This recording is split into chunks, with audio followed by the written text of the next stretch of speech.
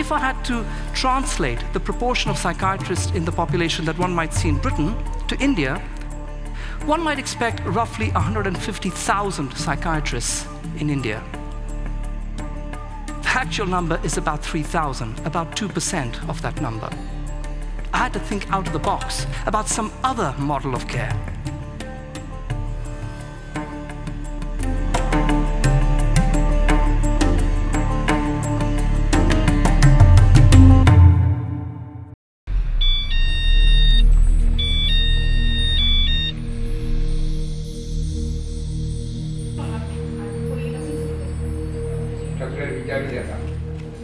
I had talked to him previously and now I'm talking again.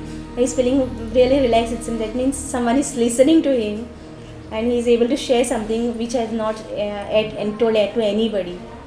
So he's feeling really um, relaxed and happy also.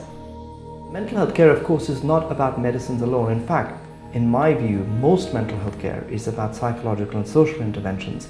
And that's the particular strength that community health workers play. I didn't have any idea about psychology or anything like that.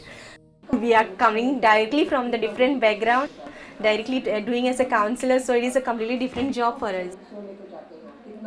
When a patient is sharing a concern, we have to understand the details of that concern and what their thought process is surrounding it.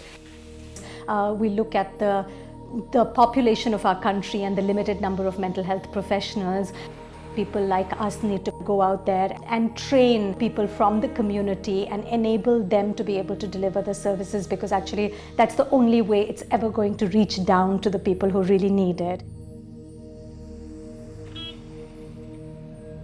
Before the training, it was just a friendly chat or with anybody. So after the training, it was more structured sort of thing. It works, and when you reflect back, the patient feel okay. The person, the person who is doing the therapy is listening to you. These numbers are a combination of this table and this table. I strongly believe in evidence. I don't believe in anything that is not evidence based. When it comes to certain health conditions like depression, I have yet to see a randomized control trial that has used community health workers to deliver psychosocial interventions for depression, not producing a substantial benefit. I was depressed for many years, maybe around three to four years. I used to stay in a dark room. Uh, I used to feel like, you know, I'm not worth, I'm useless. Uh, I don't want to live anymore. I've started today. I've not started interacting with the patients, but uh, I started observing how my screener is interacting with the patient. Two, three patients were under depression. So I felt, okay, they are a story just like me. They are just like me. So need, they also need a counseling. I got counseling at the right time. That's the reason you can see me smiling right now.